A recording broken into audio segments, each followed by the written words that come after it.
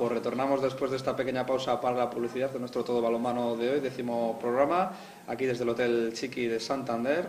Y vamos a seguir, como digo, con eh, nuestro otro invitado, que no nos olvidamos de él, nuestro tercer invitado del programa, Borja Rebolledo. Buenas noches de nuevo. Buenas noches.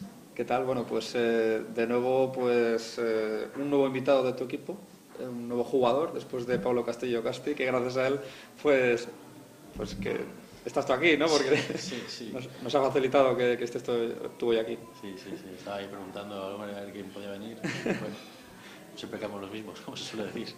Bueno, este fin de semana eh, tuvisteis de nuevo un nuevo partido y una nueva derrota por la mínima, una auténtica pena, fuera de casa en tierras sorianas, ¿no? 27 a 26 frente a Balomano Soria.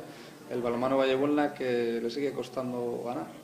Sí, bueno, como se suele decir, eh, a perros flacos son pulgas. Y fue un partido que, salvo momentos que te igualaban, que igual se pusieron a 1-2, fue un partido que más o menos estuvimos dominando todo el rato.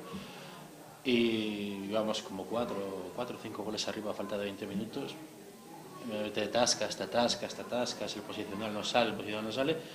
Y íbamos ganando de uno a falta de 2 minutos y con posesión gol, gol, gol, gol y acabamos perdiendo un partido que le teníamos ganado. No, es que ganado, habíamos pasado a una dinámica de perder y cuando hasta que no salga un partido bueno que se ganes tranquilamente, pues cuesta mucho salir. Bueno, tú eres pivote, ¿no? Pivote del conjunto de balomano Vallebuena que dirige Sergio García, ¿no? Vuestro entrenador. Sí.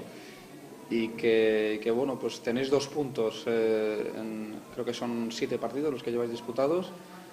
¿Qué es lo que ocurre en esos partidos que tenéis ahí, que podéis ganar y finalmente no, Pues lo conseguís? son en la mayoría de los casos han sido detalles, quitando partidos puntuales que no, no se ha podido, no se ha podido. Pues eh, contra Safa, que yo personalmente yo no estuve, pero se perdió de uno y Safa es un equipo potente y se iba ganando en la primera parte. Eh, contra Santoña también se iba ganando en la primera parte y en el primer cuarto de él ya nos, nos sacaron del partido, la segunda parte. Y el otro día, pues lo mismo, que eh, te atascas, eh, hay ansiedad, quieres hacerlo, no te sale, pierdes confianza.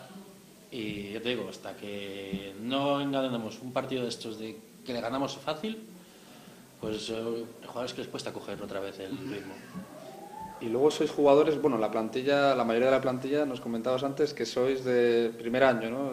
Esos jugadores les está costando entrar en esta nueva categoría quizá, porque Sí. son de, vienen del juvenil, ¿no? Sí, hay muchos que vienen de juvenil, entonces yo personalmente pienso que a ver, es un salto, entonces también hay que tener en cuenta que ellos tienen que hacerse a esta categoría. Eh, son jugadores que son muy, muy buenos, muy buenos, y seguramente en juveniles están, saben que ellos en juveniles podían hacerlo de todo. Aquí cuesta más, eh, y luego se suma pues eso, que los que llevamos más tiempo tampoco estamos muy finos, entonces tampoco puedes pedirles a uno de primer año que tire del equipo. Entonces, bueno, pues todo suma. Pero bueno, te digo, son buenos y lo, si mientras seas bueno, lo demás se arregla al final. Y en defensa, ¿tú crees que el equipo eh, puede cimentar sus, sus victorias si se defiende un poquito mejor? Es que se defiende bien. Si esto es que se defiende bien, si este equipo lo que tiene es que defiende bien. Es más, el sábado en Soria, eh, casi todos los goles los estábamos sacando en la defensa. Porque tendría que mirarlo, pero probablemente el máximo asistente del partido es el portero. Porque se defendía bien, el portero paraba y contraataque va y contraataque viene. Pero si metes, meten 20 goles, pero tú has metido 18, no te ha servido nada la defensa. Claro. Pero la defensa yo pienso no, la defensa está bastante bien, la verdad es un tema que llama bastante bien. También pues eh, el sábado, por ejemplo, que es ha sido el último, si la defensa está bien, haces la chapa y da la casualidad de que la chapa desvía el balón, despista al portero y entra, que igual nos pasó tres veces, pues ahí qué vas a hacer. Pero pienso que la defensa está bastante, bastante bien este año, la verdad. ¿Qué es la chapa de Borja? Eh, pues cuando vas a bloquear... Ah, bloquear el balón. Claro, tec- técnico en balonmano. Técnico balonmano. para, es para que no, para quien no lo entendiera, vamos, que Sí, nos esté viendo. Pero bloquean y si desvía el balón, y nos ha pasado tres veces el sábado, creo. Se la desvió al portero y, y entró. Entonces se ha defendido bien, pero había mala suerte. Y este año está viviendo bastante mala suerte. Y además da rabia perder por tan solo un gol, ¿no? Ya habéis llevado, nos has dicho ahora, contra el Safa, ¿no? Y ahora este. que habéis eh, perdido por tan solo un tanto. ¿no? Debe dar más rabia, supongo. Sí, da rabia sobre todo, a ver, tú puedes perder de un gol cuando hace cuatro minutos perdías de cinco, pues bueno. Pero cuando vas tú dominando el partido y te ganan de uno, da todavía más rabia. Todavía más, sí. Y más cuando estáis ahí abajo, ¿no? que solo tenéis tan solo dos puntos, siete partidos, y podríais haber, tener, o podríais haber tenido pues seis o siete puntos, ¿no? tranquilamente en la tabla. ¿no? Hombre, yo por poder podía tener 14. Yo no, yo no he salido nunca pensando que voy a perder un partido, pero también hay que tener en cuenta que, a ver, hemos jugado contra Safa, que está tercero, cuarto, me parece. Sí, luego lo repasamos, creo que va tercero. Antoña, hemos jugado contra Torrelavega, nos está tocando huesos. Y nos tocó Avilés, que yo no sé qué nos pasa con ese equipo, que no tenemos narices de ganarle. Es una cosa, además, es que nos ganan bien siempre pero como te digo, pues eh, ahora pues eh, a ver si ya empiezan a venir partidos digamos más asequibles para nosotros y esto es como todo. Una vez cojas confianza, entra lo que no entraba el otro día, eh, coges el balón que no cogías el otro día, el portero para lo que el otro día no paró. Digo, es, una, es va por rachas al final esto. El balonmano a veces es, es rachas, como nos decía ahora Borja, y, bueno, pues esperemos que venga una buena en breve porque lo va a necesitar el conjunto de Vallebuena, que es de los cuatro cántabros el que peor clasificado va, desgraciadamente. Pero bueno, vamos a hacer un repaso de lo que fue la jornada en esta primera estatal masculina del grupo B con los siguientes marcadores que hubo en la jornada octava. Vamos con ellos. Eh, Santoña 35, Universidad de León Ademar 20, Balomano Torolaiga 31 eh, balomano Pinto 32, balomano Soria 27, balomano Vallebuena 26, que ahora comentábamos con Borja, eh, balomano Carabanchel BMC 26, Safa Medlife 26 en el duelo madrileño de la jornada y en la parte alta de la tabla, Universidad de Valladolid 24, Cronistar Oviedo Balomano 21, Balco Panada Balomano Corrales 30, Perovida Balomano Arroyo 21 y Vinos Vetusta.com Villa de Aranda 31, Gesmón Balomano Leganés 32. Descansaba este fin de semana el conjunto precisamente del que hablaba antes Borja, Cafestos, Cafa Atlética, Vilesina y, bueno, pues eh, que, que bueno, no sé qué te dice esos marcadores que acabamos de repasar de esa octava jornada, Borja, pero igualdad máxima. Sí, además la, eh, llama mucha atención el de eh, Torlavega a Pinto, porque es que es el único que hemos ganado nosotros y parece que es que solo ha jugado mal contra nosotros, porque lleva nueve puntos, me parece. Le han ganado a Torlavega, que, que venía de pegarnos a nosotros un baño, literalmente. Y ha ganado Pinto y nosotros habíamos ganado. A ver, entonces eso me demuestra a mí o que cuando nosotros jugaron muy mal o que lo que entendemos nosotros es que tienes el brazo encogido, de que quieres ganar, quieres ganar y no, no te sale. El resto de partidos que te llaman la atención, los equipos cántabros, la verdad es que los estamos viendo bien. ¿eh? Sí, parece que ya menos nosotros ya el otro Corrales ya va cogiendo su ritmo y Torlavega quitando lo del sábado está haciendo lo que te esperas y Santoña tres cuartos de lo mismo, está haciendo lo que se espera de ellos. Son los dos equipos que en principio iban a estar ahí arriba, pegándose con, con Carabanchel y... Con madrileños, ¿no? sí, sí, que son los que el año pasado también quedaron ahí arriba con Covadonga. Y en ese sentido tampoco hay grandes sorpresas. Igual sí me sorprende que Oviedo todavía no haya ganado, porque es un equipo que, bueno, también es muy joven, no sé cómo estará ahora, pero el año pasado era un equipo que a mí me gustaba mucho, era muy peleón, muy joven. Ya veremos a ver cuando nos toca a nosotros qué les pasa, porque son tan peor que nosotros. Sí, porque aún no ha sumado victoria, como decía la Borja, cero puntos es el colista, pero vamos a hacer un repaso a lo que es esta tabla clasificatoria. Tras ocho jornadas, insistimos en esta primera estatal, grupo B, donde están nuestros cuatro equipos cántabros. Balomano Vega que lidera con 14 puntos, pleno de victorias, eh, perdón, perdón, pleno de victorias no, a partir de este fin de semana, porque llevamos ocho partidos y bueno, es que veía varios partidos, varios equipos, perdón, que llevan siete partidos, pero Vega lleva ocho, ocho, partidos. Bueno, siete victorias, una derrota, insisto, 14 puntos el balonmano Vega. Segundo ACV Balonmano Santoña con un punto menos, 13 y que, bueno pues está ahí a un puntito del Vega, que esta jornada pues ha conseguido acercarse dos puntitos eh, más y, bueno pues tercero también balomano Carabanchel con 10 puntos, cuarto Safa Life con 9 y luego aquí pues igualdad, eh, como digo, Cafesto Escafa Atlética Vilesina también con 9 puntos, quinto, sexto Balomano Pinto 9 también. Y séptimo Balco Panamá Balomano Corrales que se sube a ese, a ese tren, ¿no? a ese pelotón de, equipos con nueve puntos. Octavo Gerovida Balomano Arroyo con ocho, novena Universidad de Valladolid también con ocho. Y décimo Balomano Soria, pues después de esta victoria precisamente frente a Vallebuelna, también con ocho. Luego tenemos a la Universidad de León además, el filial del, de la banca de Mar de León, un décimo con siete puntos. Y luego ya hay una pequeña brecha de tres puntos eh, con el Gesmon Balomano Leganés duodécimo con cuatro, décimo tercero Balonmano Vallebuelna con dos, décimo cuarto Vinos Vetusta punto con Villaranda con dos también y aún no ha sumado Cronistar, Oviedo, Balomano, décimo quinto y último Borja. Eh, así está la tabla clasificatoria y como comentabas, dominio de los dos equipos cántabros y vosotros ahí que se está costando ganar. Bueno, al final acabas ganando. Eh, el año pasado también empezamos que nos íbamos a comer el mundo y al final es una liga que eh, no, hay equipos malos en primera. quitando los cuatro de arriba que sí son superiores a los demás, no hay equipos malos. Eh, un equipo bueno gana cualquier día a otro. Nosotros ganamos a Pinto, Pinto gana a Torlavega. Entonces, eh, al final tendremos los puntos que tengamos que tener. No van a ser dos. serán más, lógicamente.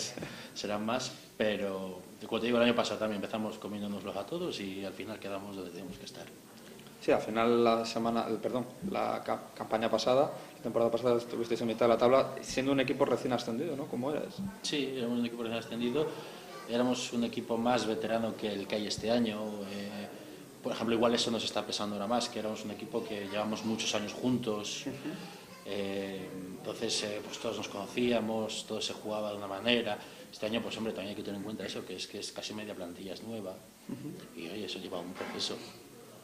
Eso está claro y bueno, pues acoplarse siempre cuesta y, quizá una temporada entera ¿no? se necesita para, para aclimatarse. ¿no? Esperemos que Comedia nos valga. Esperemos que así sea y que el Vallebuena no sea el equipo que uno de los equipos que descienda esta temporada. Ojalá no, ojalá no sea así. Pues vamos con los partidos de los, lo ven sobreimpresionado ya en sus pantallas, de los partidos sobre todo de los equipos cántabros. Vamos a repasarlos todos, pero haciendo especial hincapié en los equipos cántabros. El Balomano Santoña que va a abrir jornada a partir de las 6 de la tarde precisamente en Avilés frente al Café Toscafa Atlética Avilesina en el pabellón municipal de la Magdalena.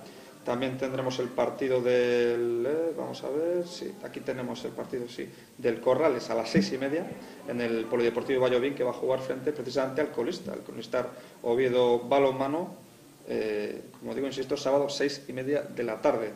Para el eh, domingo tendremos por los partidos de los otros dos equipos cántabros, el balomano Torre que juega frente a la Universidad de León Ademar a partir de las 12 de la mañana en el pabellón universitario Hansi Rodríguez y media hora más tarde lo hará el presidente del Vallebuena en el pabellón municipal de Corrales frente al BMC, un BMC que es tercero en la tabla y que es uno de los gallos de la categoría. Insistimos, domingo 12 y media la cita para vosotros, Borja, y nada, mucha suerte y que ganéis a un equipo que no va a ser nada fácil ganar. No, es que ninguno es fácil de ganar, pero bueno, hay algunos que te cuesta más, pero bueno, así ya el domingo empezamos ya a sumar un poco. Esperemos que, sea así, desearle toda la suerte del mundo, insistimos, al, al balonmano Vallebuelna. Pues si os parece también vamos a ir repasando lo que va a ser la, bueno, lo que ha sido la jornada en la División de Honor Plata Femenina con los marcadores que tuvimos este pasado fin de semana en la octava jornada que se disputó este fin de semana. Eh, Carballal 24, eh, Sarro de Vigo 26, Balonmano Mavi Nuevas Tecnologías 30, ojo, Balonmano Camargo Freolántica 9, ojo a este marcador que nos llama mucho la atención, muchos goles de diferencia y en contra para el conjunto camargués, el conjunto cántabro que recibió un severo correctivo del líder en esta octava jornada de la División de Honor Plata Femenina.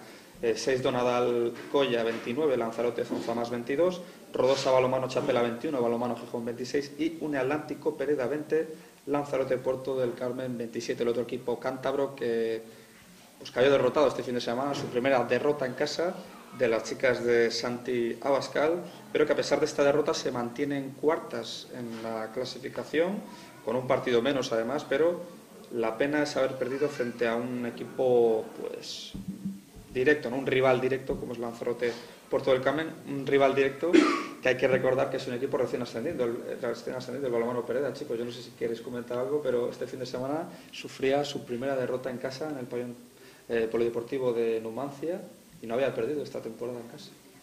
Sí, yo les vi un par de partidos en casa y la verdad es que las chicas están muy bien. Están peleando los partidos, al final están metidas en el grupo de arriba y salvo el mal, los equipos de Gijón, el Mavi y el Gijón van a pelear por esas primeras posiciones, creo yo, vamos. A pesar de ser un equipo recién ascendido, Ernesto, pues tenemos al Atlántico Pereda, el balonmano Pereda, que está ahí luchando por los puestos altos de la tabla. Sí, bueno, tú, lo has dicho, ¿no? Van cuartas y, bueno, para un recién ascendido tiene que ser un orgullo estar ahí en esas posiciones de arriba, sobre todo la tranquilidad que te da mirar para abajo y, saber que, te, que te quedas ahí. Eso es, sobre todo una gran temporada, Borja, yo no sé si sigues un poquito esta categoría, las chicas, nuestros dos equipos cántabros, el Unión Atlántico Pereda, recién ascendido, y le tenemos ahí cuarto, a pesar de esta derrota. Bueno, sigo más por amistad de, al, de, al, de, Camargo. Al de Camargo. Sigo más por amistad al de Camargo, pero bueno, tampoco soy de estos que está viendo balonmano, viendo balonmano, en casa no me dejan. no te da tiempo más, ¿no? Dicen que ya bastante económico para ver lo de los demás. Bueno, pues eh, si te parece y os parece, también vamos a repasar cómo va esta, eh, la clasificación en esta categoría. Eh, grupo A, insistimos, División de Honor Plata Femenina, con el BMC Mavi Nuevas Tecnologías líder con 16 puntos, Balomano Gijón segundo con 12, a 4 por lo tanto del equipo de rivalidad, ¿no? de cercanía en cuanto a, pues eso, a, a esta categoría. Lanzarote Puerto del Carmen un punto menos, tercero con 11 puntos, como digo, y cuarto un Atlántico Pereda con 8 y bueno, pues a pesar de esta derrota se sigue manteniendo en la cuarta posición. Quinto, 6 Donada Alcoya con 8 puntos y sexto, Sarroda Vigo con 8 esos estos equipos que se han acercado y mucho, han igualado incluso puntos al conjunto santanderino. Séptimo el Carballal, otro equipo gallego eh, con 6 puntos, uno menos Balonmano Palencia Turismo con 5, es octavo Noveno, Lanzarote Zonzamás con cuatro puntos. Camargo, Balomano Camargo Ferroatlántica con dos puntos es décimo. Y descendería ahora mismo, pues colista y con cero puntos el Rodosa Balomano Chapela. Estos fueron los marcadores de la octava jornada. Y, bueno, pues no sé si quieres comentar algo, pero el Balomano Camargo que de nuevo derrota pese a haber ganado la pasada jornada. Derrota más clara pero al, final la derrota es contra el primero de la clasificación que está teniendo bastantes resultados abultados, parece que está muy despegada del resto.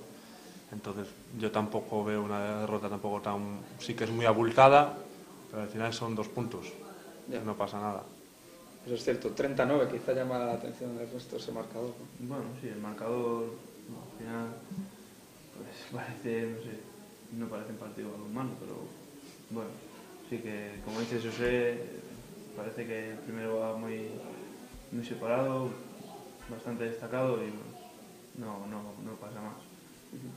Recordar, Borja, que solo desciende un equipo esta, esta campaña, en esta categoría, que sería ahora mismo el Rodosa Balboro Chapela. Esperemos que no sea el, Camargo el que descienda. ¿no? Hombre, cuantos más estemos eh, ahí arriba, mejor. Más, más gente que va a ir a ver balonmano, porque quieras que no, cuanto más arriba es el nivel, más gente atrás. Y cuando más gente atrás, esto no es fútbol. Aquí, el que no, si no nos vienen a ver, al final los críos no juegan a esto. Y eso es lo importante, que estén la mayoría de los equipos cántabros, la mayor, el mayor número de equipos cántabros en las categorías más altas del balomano nacional, en las distintas categorías nacionales del balomano español. Pues recordamos la siguiente jornada, aunque este fin de semana no habrá liga, pues lo ven sobre impresión de sus pantallas, será eh, la jornada del 28 y 29 de noviembre. Vamos a ir con los partidos, sobre todo de los equipos cántabros.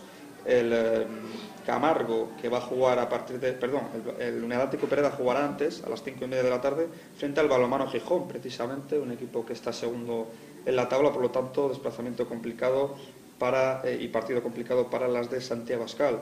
Y media hora más tarde, a las 6, jugará en el Juan de Herrera de Muriedas pues el balonmano Camargo frente al 6 Donadal Colla, un equipo que está ahí quinto con ocho puntos y donde espera sumar el conjunto de pues de Champi, ¿no? de Javier Vega Champi y bueno, no sé cómo veis esta categoría, eh, los partidos, una categoría que domina los equipos gijoneses, chicos, pero los, cántabros poco a poco que tienen que ir sumando, ¿no? De dos en dos.